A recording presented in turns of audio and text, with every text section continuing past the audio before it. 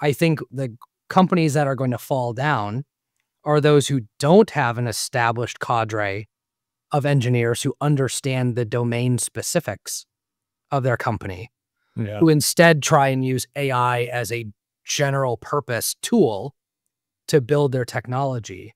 I'm still not sold on that yet. I don't think generative AI is quite there. I you still need that strong human element, that human in the loop sort of feedback cycle. But I do think we're going to see an explosion of developer productivity over the next 3 to 5 years. I also think we're going to get to a capability at some point where maybe the unification of data and the modeling of data not goes away, but can be supplemented by intelligent generative AI systems that can, you know, infer the example I used earlier.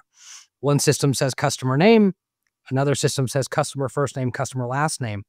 Are we going to get to a position where AI can help make that inference without us needing to explicitly write those rules within our data modeling?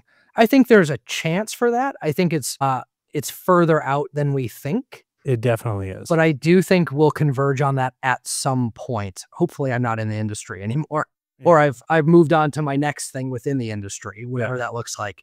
Because inference requires implicit understanding. Correct.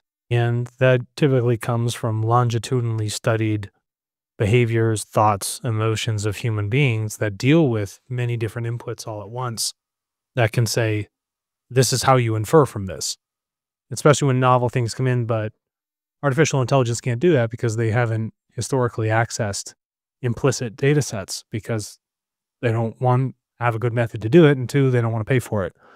So I think it's going to be further out than we think, but it's going to be a whole world wrestling around that 20% efficiency you talked about from their bolt on solutions. But really, it'll create efficiency, but not understanding. That's a great way to put it. And let's not forget, at the end of the day, these are people making requests of artificial intelligence systems. And if I've learned anything over 17, almost 18 years of doing this with running two companies, it's that typically what stakeholders ask for is very different than what they actually want Mm-hmm. because of those unknown unknowns.